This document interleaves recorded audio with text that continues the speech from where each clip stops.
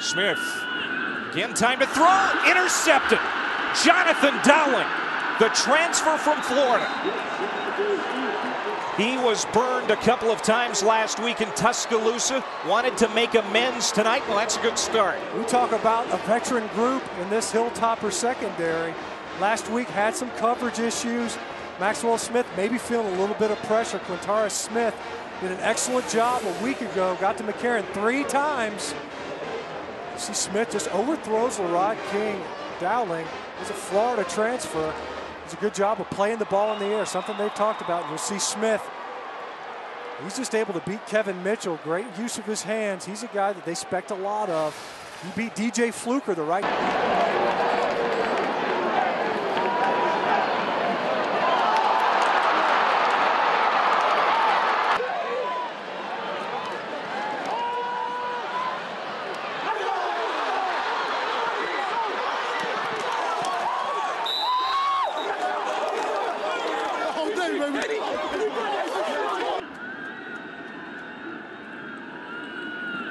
Smith. Downfield, intercepted again by Dowling. Making his way toward the end zone. Brought down inside the five. Jonathan Dowling, his second INT tonight, brings it back 34 yards. And Western Kentucky has picked off Smith three times now. You see Maxwell Smith is just trying to get the ball downfield. This is not something that they've done very well so far this season. You see him once again, feels a little bit of pressure.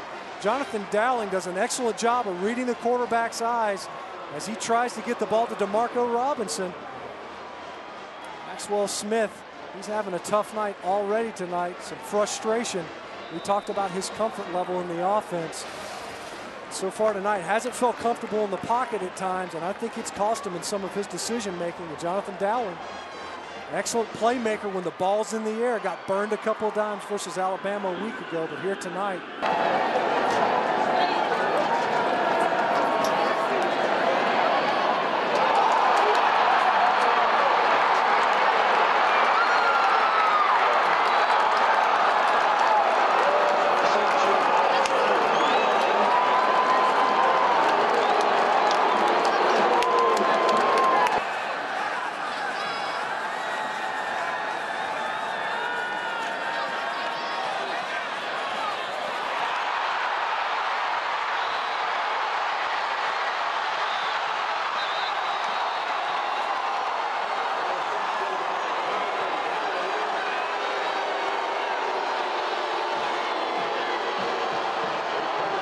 Out wide, La'Rod King at the top of your screen.